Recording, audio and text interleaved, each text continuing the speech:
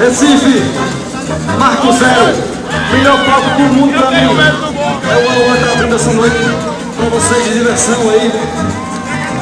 Muito legal estar aqui com essa turma que veio pela rua trazendo um pedacinho da nossa cultura pernambucana.